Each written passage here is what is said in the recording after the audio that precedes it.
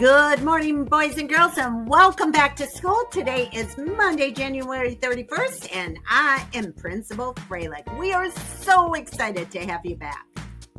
For lunch today, boys and girls, we are having hot dogs. And for breakfast tomorrow, yum, it's going to be blueberry muffins. Are you happy? Are you sad? Are you excited? Are you mad? Are you anxious? Are you glad? Let's talk about the zones of regulation. Hi friends, it's Mrs. Robinson. Today we are going to watch four video clips. After each clip, I want you to think about what zone you think the characters in the clip are in.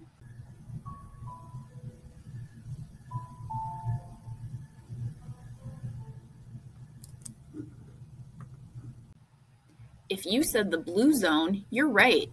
How did you know that the characters were in the blue zone?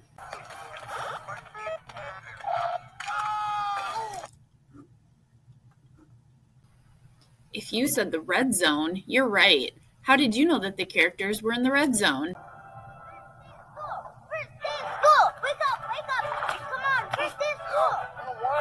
school. Five more minutes. Not you, Dad. Me. Okay. Get up, get up. Time for school, time for school, time for school, time for school. If you said the yellow zone, you're right. How did you know that the characters are in the yellow zone? I can learn to do it. Don't know how you do it. I simply knew it. Suddenly I feel like someone new. Until you're the dream come true. If I If I can learn to do it, you can learn to do it. come together. And you'll pull through it. If you said the green zone, you're right. How did you know that the characters were in the green zone? Thanks for watching. Are you happy? Are you sad? Are you excited? Are you mad? Are you anxious? Are you glad? Let's talk about the zones of regulation. As you know, boys and girls, we're continuing to celebrate our education assistants. And I kept two very special people for the end. Many of you had preschool at Meadow Lake, and you know Miss A because she is a preschool EA. And some of you started your career at Meadow Lake in her classroom. Our second preschool EA is Miss Wickland. A lot of you also had Miss Wickland as an education assistant when you were four years old. And so those are our two very special EAs for this week. Thanks for all that you do.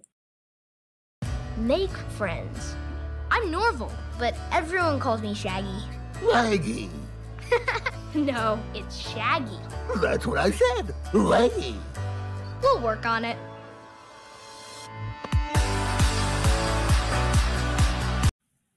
Boys and girls, we are getting ready for Kindness Friend Day or Friendship Day. And when is it? February 14th. And so, as we work with our fifth graders on these skills, because they're going to middle school, you are going to learn 10 different ways to be a good friend. Let's take a look. Today, you'll learn one of the ways.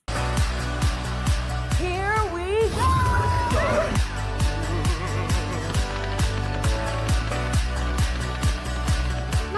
For a bunch of kids. Maybe we should do this again. I like it. I'm in.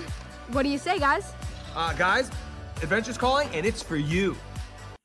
So, being a good friend and being kind means you do things together. You work together. Like in kindergarten, when you have your time where you're building things at the end of the day and working together, that is being a good friend and kindness. So, boys and girls, every day we end with the pledge, and today we have the Meadow Lake Pledge. Read with me and let's hear your voices. Meadow Lake is my school. I will help to make it a safe and peaceful place to learn. I will work with others to improve our school. My strengths are important here. I have the power to be the best I can be. I am proud to learn at Meadow Lake School. Hi, friends. It's time to take our four deep breaths to get ourselves centered and grounded and ready for the day. So, plant your feet flat on the ground.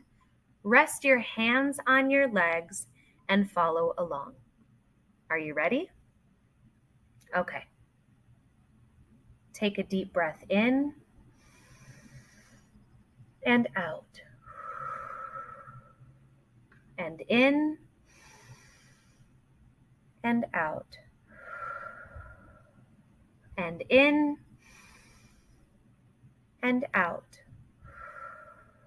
And one last big one in and out. Let's have a great day. See ya.